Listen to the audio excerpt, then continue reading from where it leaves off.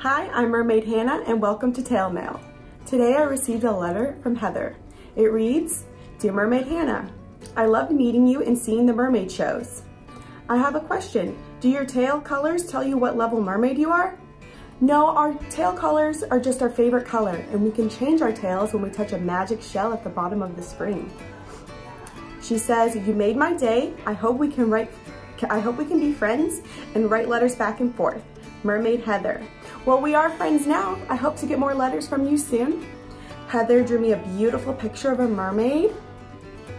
And then she also um, sent me the picture of us together. Thanks, Heather.